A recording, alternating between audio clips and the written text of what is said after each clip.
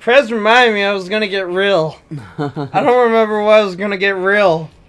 God, I'm sorry, Perez. I failed you. well, we were talking about. Uh, Uh, well, I mean, I was, I was uh, like, I, I brought. There was two things brought up, and then my mind went to the thing that was brought up.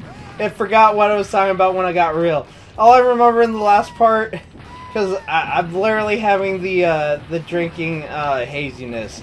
Not in the sense that I'm blacking out, but in the sense that short-term memory. Um, I remember I was talking about like animals and how how I'm like super just into animals and how I how I how I like them. Uh, not not in an awkward way, viewers. Okay, some of you might be like, dude, man, just just this is getting so awkward in the sense that uh, are, are you are you one of those guys, the kind of guys that like sexual and blah blah blah? And it's like, no, of course not. What the fuck is wrong with you? I like animals because they bring me back to my childhood, my that innocence, the the like love and adm- admiration of like just they're awesome. mhm. And it's like there's that one satisfaction of like feeling like you can like kind of communicate with them on that base level, you know? just- Yeah. It's No- like I love that shit. Yeah. You know, it's like kind of like a whisperer in a way. It's like I wish I could. That's like Mhm. another dream job aside of being like a farmer and working with like farm animals and stuff like that. Which, by the way, crops and farm animals, man, chickens and and cows, uh, goats. Yeah. Hell, maybe we don't even need Mary Moo Cow and uh, Bessie Moo Cow. We we should just go with like goats because Mhm. uh, goat milk has this very appetizing taste, even though like people might think it sounds really weird. It like I don't know how to describe it other than like it's, it it kind of has like this grainy sweet taste to it, like uh, chocolate milk. I mean, maybe I'm out. Maybe I've uh, lost my mind, but goat milk is actually pretty appetizing. Sounds awkward at first, but then you try and it's like, hey, this isn't bad. I could get used to this. I mean, like, I got used to almond milk, and uh, if you want to ask who's responsible for that, uh, look to the guy who's also commentating with me. Oh really? Sure, he's quiet a little bit, but at the same time, Yes, it's way past my fucking bedtime. this fucking game. uh, I guess at this point he's just Wolfman contributing. Well, Uh, I'm a little rat boy. Wolfman. Look, we got Acapulco done. Wink. And as I keep saying, we got a guest room, so you can sleep there if you really. No, it should be good. Okay. I don't even know how to pronounce that. I'm not even gonna try. Uh, Feliz. anyways, um, I don't know where I was getting super real and super deep.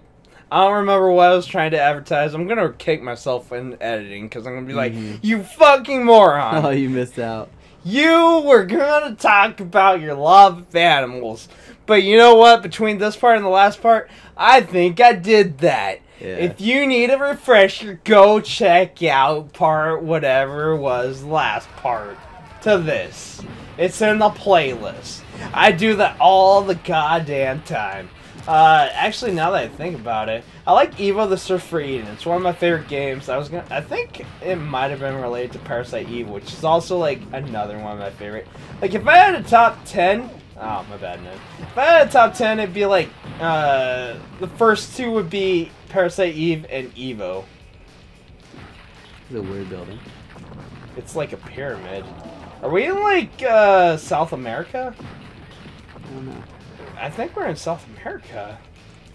I mean, that would explain the Aztec uh, architecture or the Mayan architecture. I don't really know. I'm sorry. I'm really super illiterate when it comes to ancient uh, architecture. I guess I flubbed up that bad. Uh, I, I do remember something. It was like talking about uh, the awkward um, stance on a guy sucking your dick. yeah. Um, I guess this is the super real part where it's like, so say for instance, actually, should I even be talking No, about this? No, it's not even worth it. Okay, all right, I'll I'll uh I'll, I'll skip this. Um,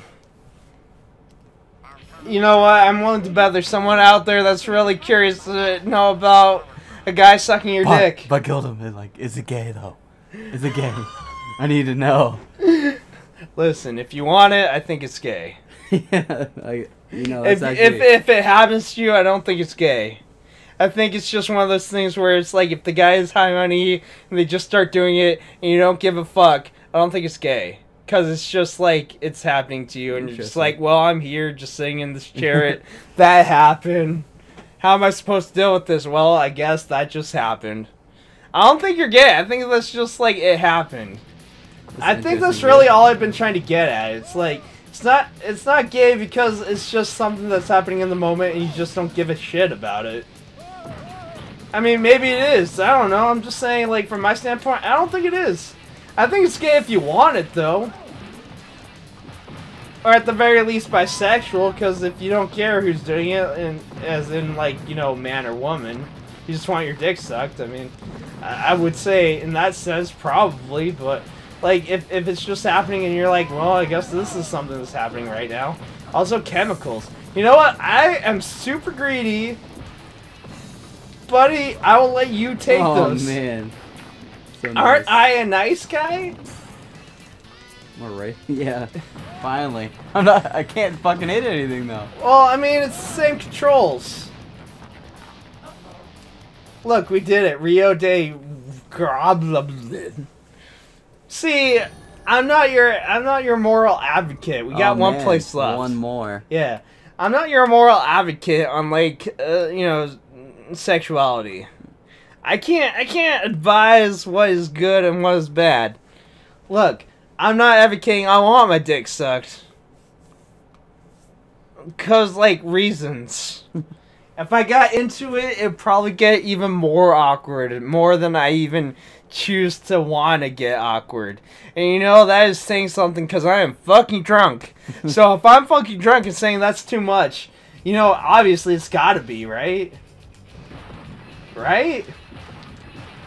I'm willing to share to a certain part, but I'm just like I'm testing the waters, man.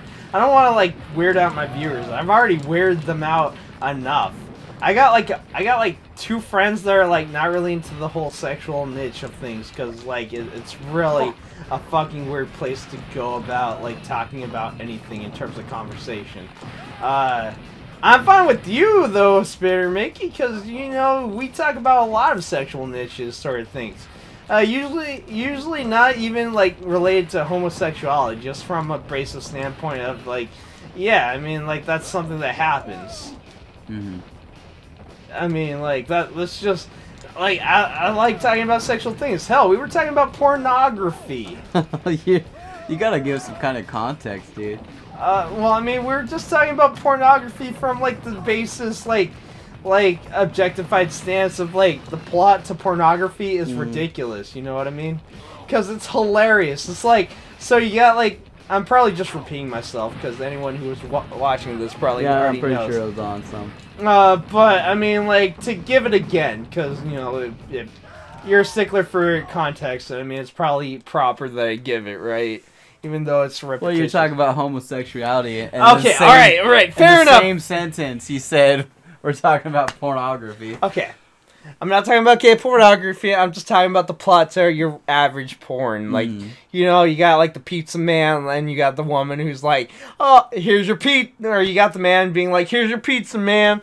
All right, that'll be like 1950, and the woman's like, "Oh, thank you, but I don't got any money. Is there any way I can like pay for it?" And they start like uh, unsnapping their blouse, showing a little bit of cleavage, if you know what I mean. Mhm. And, and the pizza boy's like, "Oh, I think we can work something out." and then I mean, like, uh, granted, porn can get a little more elaborate than that, but not by much. But my point is that shit is fucking hilarious, cause it's like trying to imagine that shit in real life. It's just like it breaks logic. I mean, I think that porn stars are really good act like actors and actresses. Like, I think they you put up with a lot, and it's hilarious. Can you imagine Brad Pitt taking it up the ass? Like, it's just, No, I can't. it's not gonna happen. but at the same time, Like, it takes some skilled acting to be able to do that. I mean, I think it takes a lot of uh, not giving a fuck and also a lot of uh, courage to be able Mhm. to actually go the extra I mean, step. they do all their stunts. Like, yeah. what? I mean, like, I, I'm not advocating that I hate porn. Okay, I, I like it. I think uh, porn stars put up with a lot of shit. In fact, I'm almost positive, uh, drunk, and I don't have any way of like certifying this, but I'm almost positive there's some sort of documentary on what porn stars have to put up with in the industry, and it's actually a really good documentary that's worth watching. I, I'm almost certain that this is a fact that it actually exists, and you can go look it up on Amazon or some sort of shit like that. Uh, for sale, it's it's actually a legit good commentary documentary to go watch to mm-hmm. see what's behind the scenes of what anyone in the industry has to put up with. Because if you're like me, sure, on the outward appearance, it looks great. But then you start thinking about the more intricate details, what you would have to put up with. It's all bullshit. It's all like not the mel- land of milk and honey. It's all like terror and like having to stick things up your butt. And it's like if you're like me, you don't want to put anything there. Well, You don't even want to think about that shit because that's ridiculous. Guys almost have it worse because they have Yeah. to like constantly be hard at the right time, so they Well, just load up on uh, Actually, pills. no, I don't want to say guys have it worse. I think porn stars, either one getting into it, have it worse. Because one, if you're like a chick, you have to you have to like deal with whatever they want to put, uh, whatever like the director says is gonna happen. And you don't have any say in it. You gotta do it because that's what's gonna like make or break your career. Uh, guys, it's like sure you're the talent, and it's like no one gives a shit about you as long as you have like uh, whatever. As Yeah, long as you have the imagine How hard it would be to keep it like hard the whole fucking time. Well, I mean, like that. That's just it. If you're gonna do it, you you better have something that appeals. Uh, I remember there was this uh, thing that's like, if you're gonna be a porn star, you better have something that actually makes you stand out. You know, even if it's ridiculous or even if it's stupid, at least it's something that really stands out from the crowd. You know, because anyone can say, I have a I have a donger and um, I, I want to use it. You know, I I I can go about that, uh, but I don't because uh, it, it's nothing all that impressive. I wouldn't want to be a porn star. I don't even like sex on the average basis because it's a very intimate thing. I can't imagine actually getting into the industry because it'd be like it'd be ruined for me. I would have no sense of romance, and I barely have a concept that- of romance. You'll be that guy that's cast to be on the side of the bed and watch your girlfriend get banged. I would be mortified because I'd be like, but that's, but but that's like the only thing, but that's like our romantic thing, Mm, you know. Aside from the roses and the candlelight dinners and the atmosphere, it's like that's what it leads up to, and it's the most intimate experience because it's like both of us at our basest form, exposing everything that's that's there, and it's like, you know, I get terrified of that shit. I don't know. Uh, from one person that that's actually had sex from another, like I hate being naked. That might be too much right there, but I hate being naked because it's you. Ju- you just feel so exposed. I don't mind it. Well, yeah, but I mean, like I'm just saying, like I I I, I do. I mean, more so like. I'm not saying when I'm, I'm, I'm overweight. not saying I'm modest. I'm just like I, I get terrified whenever I have to be that exposed. It's just like uh, there's there's nothing to hide behind. It's like the most most basis form. It's like uh, there's nothing to cover up. It's like I, I I am what I am. I have nothing to hide behind because I'm all revealed now. It's terrifying. This is probably why I'm not that great. That's probably why I'm not in a relationship, or at least one reason, because it's like I hate, I hate, I hate being naked. Actually, uh, I'm, I'm, I'm probably making more of a deal of this than I, yeah, because that's like far later in the relationship than I realize.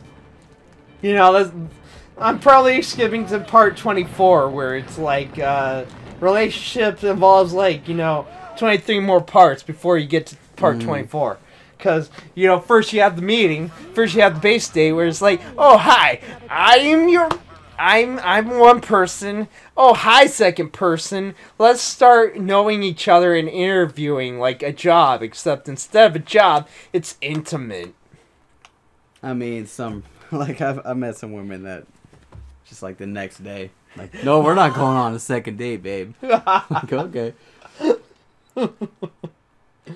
Some of you might be like, "What the hell is going on with this?" Love advice from two people, well, from one person that doesn't know, and someone who's experienced heartache from a whole different level. Mm. Anyways, uh, next time, more of God help me. God, maybe we'll end this game next one. Maybe.